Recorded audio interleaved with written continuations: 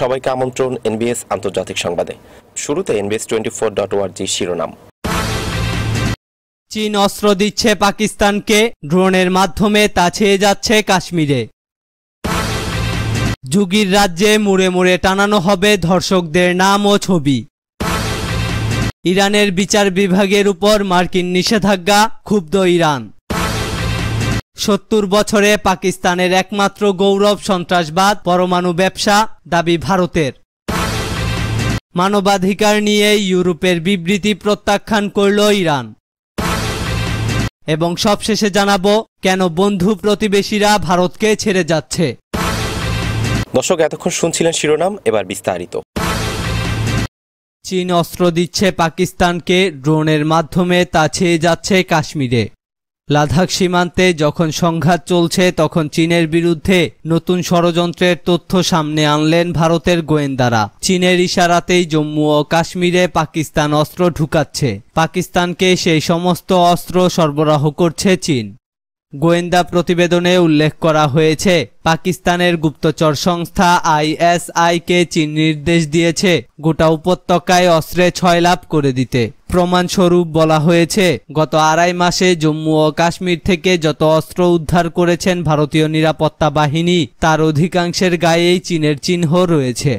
তবে পাকিস্তানি জঙ্গিদের অনুপ্রবেশ রুখতে দুর্ভেদ্য দুর্গ তৈরি করেছে ভারতীয় নিরাপত্তা বাহিনী। নিয়ন্ত্রণ রেখায় যে অঞ্চলগুলো অনুপ্রবেশ প্রবণ, সেখানে ইতিমধ্যেই নিরাপত্তা বেষ্টনী আরও কঠোর করেছে বিএসএফ গোয়েন্দা রিপোর্টে বলা হয়েছে, ড্রোনের মাধ্যমে পাকিস্তান থেকে অস্ত্র ঢুকানো হচ্ছে কাশ্মীরে। সরকারি সূত্রে আরও জানা যাচ্ছে, গোয়েন্দারা সতর্ক করে দিয়ে বলেছে, শীত বাড়লে নিয়ন্ত্রণ রেখা পার করে লুক ঢুকানো শুরু করতে পারে পাকিস্তান। তার কারণ, ওই সময় ঝুপঝাড় বড় হয়। তাছাড়া তুষারপাতের সময়কেও অনুপ্রবেশের জন্য ব্যবহার করতে পারে পাকিস্তান। তাই এখন থেকেই সতর্ক করে দেওয়া হয়েছে নিরাপত্তা বাহিনীকে। গোয়েন্দারা জানতে পেরেছেন, চীন পাকিস্তান অর্থনৈতিক করিডোরের মাধ্যমে হেলিকপ্টার কিনেছে পাকিস্তান। অস্ত্র পাঠানোর জন্য সেগুলোকে ব্যবহার করছে। তবে কাশ্মীরের স্থানীয়রাও যে বিষয়ে যুক্ত হচ্ছে তাও বলা হয়েছে গোয়েন্দা রিপোর্টে, যা নিয়ে উদ্বেগ রয়েছে নিরাপত্তা বাহিনীর মধ্যেও। গত দশ সেপ্টেম্বর নিয়ন্ত্রণ রেখার পরিস্থিতি খতিয়ে দেখতে কাশ্মীরে গিয়েছিলেন সেনাপ্রধান মনোজ মুকুন্দ নারাভানে। বিএসএফ ও সেনাবাহিনীকে প্রয়োজনীয় নির্দেশ দিয়ে এসেছিলেন তিনি। তার মধ্যেই গোয়েন্দা রিপোর্টে উঠে এলো চাঞ্চল্যকর তথ্য। দিন কয়েক আগে জম্মু ও কাশ্মীরের রাজৌরি জেলা থেকে তিন জঙ্গিকে গ্রেপ্তার করে গোলাবারুদ সহ বেশ কিছু অস্ত্র উদ্ধার করা হয়। ধৃত তিনজন দক্ষিণ কাশ্মীরের পুলওয়ামা জেলার বাসিন্দা। তারা রাজৌরিতে অস্ত্র আনতে গিয়েছিলেন। অস্ত্রগুলো ড্রোনের মাধ্যমে পাকিস্তান থেকে সরবরাহ করা হচ্ছিল বলে জানা যায়। এ খবর জানিয়েছে সংবাদ মাধ্যম দাওয়াল। মোড়ে মোড়ে টানানো হবে ধর্ষকদের নাম ও ছবি। নারী নির্যাতনকারী ও হয়রানির সঙ্গে যুক্ত ব্যক্তিদের নাম ও পোস্টার রাজ্যের সর্বত্রে সাটানোর নির্দেশ দিয়েছেন ভারতের উত্তরপ্রদেশের মুখ্যমন্ত্রী যোগী আদিত্যনাথ। লকডাউনের আগে কিংবা পরে উত্তরপ্রদেশে নারী নির্যাতন, ইফটিজিংয়ের ঘটনা সামনে এসেছে বহুবার। সেই সমস্ত ঘটনা রুখতে এবার ভিন্ন রকম সিদ্ধান্ত নিল যোগী প্রশাসন। বৃহস্পতিবার নারী নির্যাতনকারী ও হয়রানির সঙ্গে যুক্ত ব্যক্তিদের নাম ও পোস্টার। রাজ্যের সর্বত্রে সাটানোর নির্দেশ দিলেন উত্তরপ্রদেশের মুখ্যমন্ত্রী যোগী আদিত্যনাথ। সরকারি তরফে একটি বিবৃতি প্রকাশ করে বলা হয়েছে, মুখ্যমন্ত্রী নির্দেশ দিয়েছেন নারী, যুবতী এবং শিশুদের শ্লীলতাহানিতে জড়িত অপরাধীদের ইপটিজিং মামলায় অভিযুক্তদের পোস্টারগুলো রাস্তার মোড় এবং প্রকাশ্য স্থানে সাটানো হবে। এর মাধ্যমে ইফটিজারদের নাম ও ছবি সবাই জানতে পারবে। সুরক্ষার ক্ষেত্রে অনেকটাই সাহায্য করবে।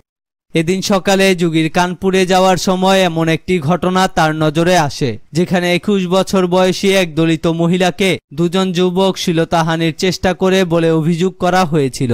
এরপরই এই নির্দেশনা জারি করা হয়। শ্লীলতাহানি ও অপরাধমূলক ভয় দেখানো এবং হত্যার চেষ্টার অভিযোগে মামলা দায়ের করা হয় দুজন অভিযুক্তর বিরুদ্ধে। তাদের গ্রেফতারও করে উত্তরপ্রদেশের পুলিশ। এই দুজনের বিরুদ্ধে এসসি, এসটি বা অত্যাচার প্রতিরোধ আইনের কয়েকটি ধারাও এফআইআরে রাখা হয়েছে।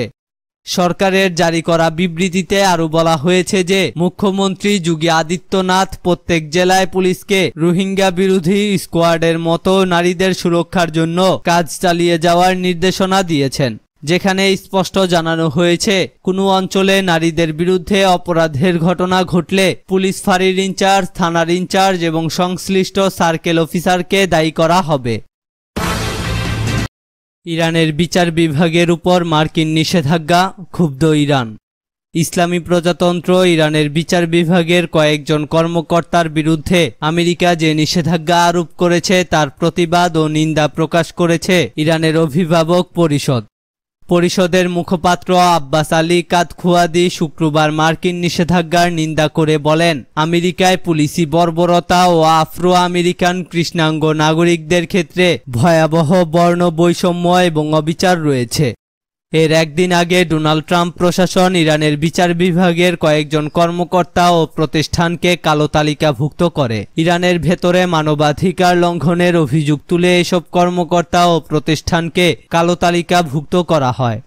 ওয়াশিংটন, ইরানের একজন বিচারকের বিরুদ্ধে নিষেধাজ্ঞা আরোপ করেছে। নাবিদ আফকারি নামে এক ইরানি নাগরিকের বিচার ও ফাঁসির রায় দেয়ার অভিযোগে ওই বিচারকের বিরুদ্ধে নিষেধাজ্ঞা আরোপ করে আমেরিকা। নাভিদ আফকারি একটি হত্যা মামলায় দোষী প্রমাণিত হন এবং কিছুদিন আগে তার ফাঁসি কার্যকর করা হয়েছে।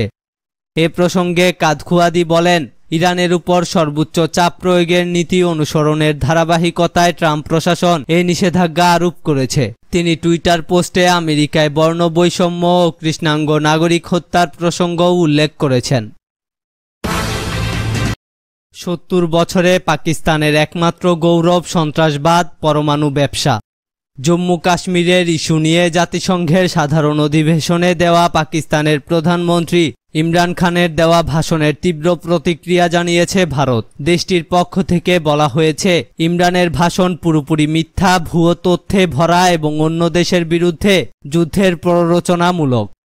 জাতিসংঘে ভারতের স্থায়ী মিশনের ফার্স্ট সেক্রেটারি মিজিতু ভিনিতু বলেন, পঁচাত্তরতম অধিবেশনে নতুন নিকৃষ্টের সাক্ষী হয়ে থাকল এই মহান ফুরাম। যারা ঘৃণা ও হিংসায় প্ররোচনা দেয়, তাদের জন্য গলা ফাটিয়েছেন পাকিস্তানের নেতা। যখন নিজের ভাষণ চালিয়ে গেলেন, তখন আমরা ভাবতে বাধ্য হচ্ছিলাম, উনি কি নিজের কথাই বলছেন? এই কক্ষকে এমন একজনের লাগাতার ভুলভাল ভাষণ শুনতে হলো, যার নিজের সপক্ষে কিছু দেখানোর নেই, বড়াই করার মতো কোনো কৃতিত্ব নেই এবং বিশ্বের সামনে তুলে ধরার জন্য কোনো যুক্তিসঙ্গত পরামর্শ নেই। পরিবর্তে এই সভার মাধ্যমে মিথ্যা, ভুয়ো তথ্য, অন্য দেশের বিরুদ্ধে যুদ্ধের প্ররোচনা এবং কুৎসা ছড়িয়ে পড়তে দেখলাম আমরা। তার আগে শুক্রবার সাধারণ অধিবেশনে, ভার্চুয়াল ভাষণে কাশ্মীর ইস্যু নিয়ে কথা বলেন পাকিস্তান প্রধানমন্ত্রী ইমরান খান। জম্মু ও কাশ্মীরের আইনসভার পরিবর্তন, সেখানে ভারতীয় বাহিনীর উপস্থিতি, সংখ্যালঘুদের প্রতি ব্যবহারের মতো বিষয় নিয়ে যথারীতি মুখ খুলেন তিনি। হুঁশিয়ারি দিয়ে ইমরান বলেন, কাশ্মীর একটি পারমাণবিক দ্বন্দ্বের জায়গায় পরিণত হয়েছে। আন্তর্জাতিক নিয়মের ভিত্তিতে কাশ্মীর ইস্যু সমাধান না হওয়া পর্যন্ত দক্ষিণ এশিয়ায় শান্তি থাকবে না বলে মন্তব্য করেন ইমরান।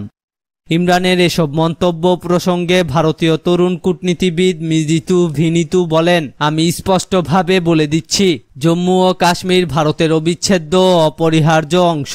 জম্মু ও কাশ্মীরে যে আইন ও নিয়ম কার্যকর করা হচ্ছে, তা একান্তভাবেই ভারতের অভ্যন্তরীণ বিষয়। কাশ্মীর নিয়ে যে সমস্যা রয়েছে, তা একমাত্র কাশ্মীরের সেই অংশে, যা পাকিস্তান এখনও অবৈধভাবে দখল করে রেখেছে।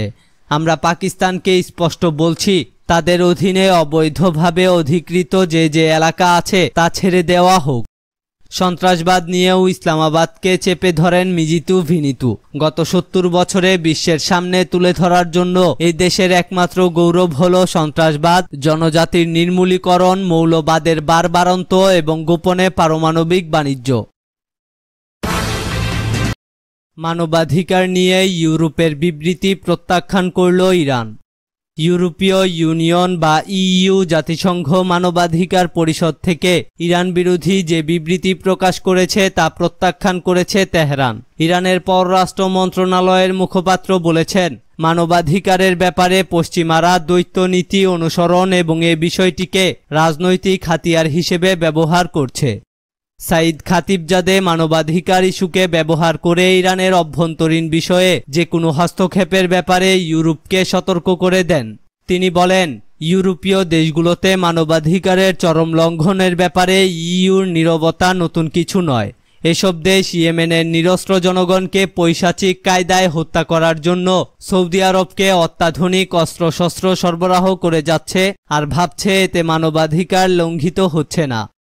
ইইউভুক্ত দেশগুলো শুক্রবার জাতিসংঘ মানবাধিকার পরিষদের এক বৈঠক থেকে ইরানের বিরুদ্ধে একটি বিদ্বেষী বিবৃতি প্রকাশ করে তেহরানের বিরুদ্ধে মানবাধিকার লঙ্ঘনের অভিযোগ তুলে।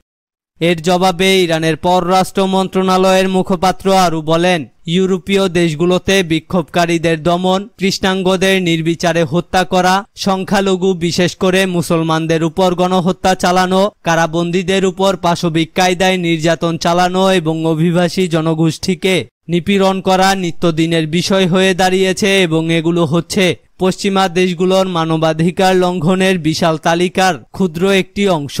কাজেই এসব দেশের পক্ষে অন্য কোনো দেশের মানবাধিকার নিয়ে কথা বলা বেমানান বলে খাতিবজাদে মন্তব্য করেন। কেন বন্ধু প্রতিবেশীরা ভারতকে ছেড়ে যাচ্ছে? ভারতের প্রধান বিরোধী দল কংগ্রেস মনে করছে, মোদী সরকারের ভ্রান্ত নীতির কারণে নিজেদের নেইবারহুড বা প্রতিবেশী ভারত বন্ধুদের হারিয়ে এক বিপজ্জনক পথে এগুচ্ছে। দলের শীর্ষ নেতা রাহুল গান্ধী টুইটারে এই মন্তব্য করার পাশাপাশি দ্য ইকোনমিস্ট সাময়িকের একটি লিঙ্কও জুড়ে দিয়েছেন, যাতে বলা হয়েছে বাংলাদেশের সাথে ভারতের সম্পর্ক যখন দুর্বল হচ্ছে তখনই কিন্তু তারা চীনের সাথে শক্তিশালী সম্পর্ক গড়ে তুলছে। কিন্তু বাংলাদেশ সহ প্রতিবেশী দেশগুলোর ক্ষেত্রে মোদী সরকারের পররাষ্ট্র নীতিতে ঠিক কোথায় ভুল হচ্ছে বলে কংগ্রেসের ধারণা। বিজেপি নেতৃত্বই বা এই অভিযোগের জবাবে কি বলছে? বস্তুত সোয়া ছ বছর আগে নরেন্দ্র মোদী সরকার ভারতের ক্ষমতায় আসার পর থেকেই দিল্লির পররাষ্ট্র নীতির একটি মূল কথা হল নেইবারহুড ফার্স্ট যার অনুবাদ করলে দাঁড়ায় সবার আগে প্রতিবেশীরা। কিন্তু প্রধান বিরোধী দল কংগ্রেসের নেতা রাহুল গান্ধীর দাবি, এই বন্ধু প্রতিবেশী দেশগুলোই এখন একে একে ভারতকে ছেড়ে যাচ্ছে।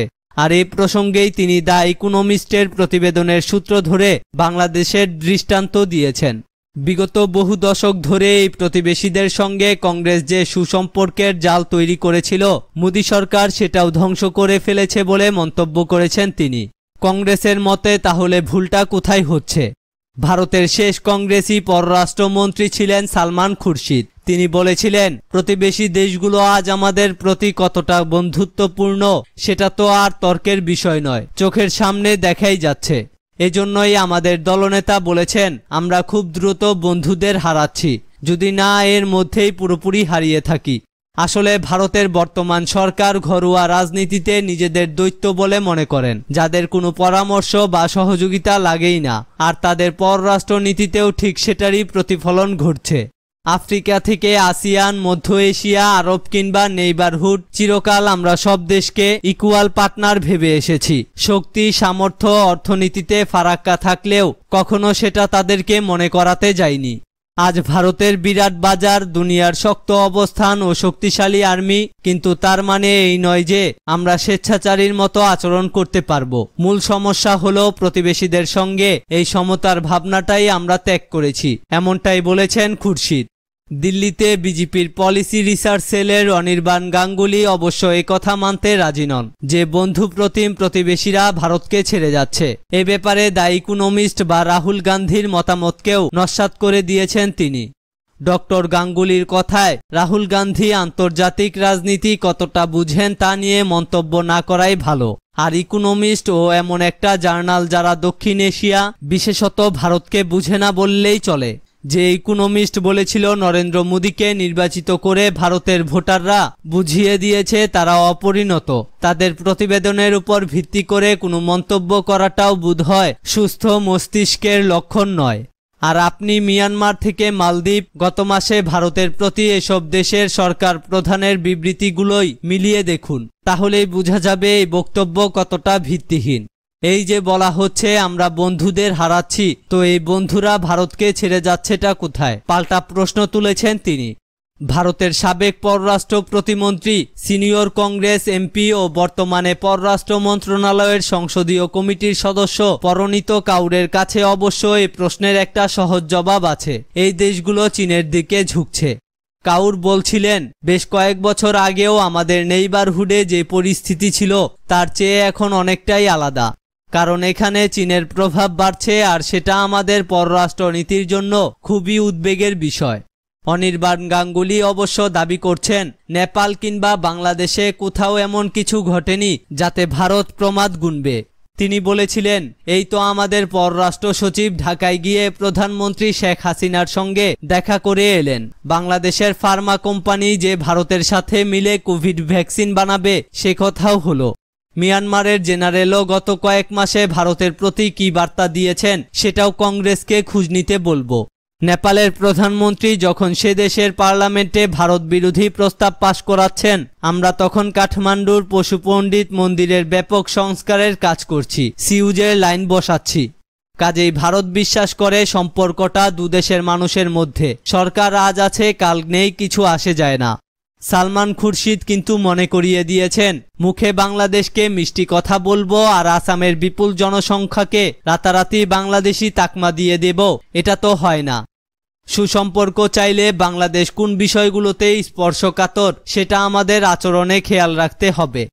অনুপ্রবেশের সমস্যা মোকাবেলা করতে চাইলে ঠান্ডা মাথায় ঢাকাকে বুঝানো হোক। বলা হোক, তোমাদেরই পরিবার এদেশে রয়ে গেছে, ওদের ফিরিয়ে নাও, আমরাও সাহায্য করব।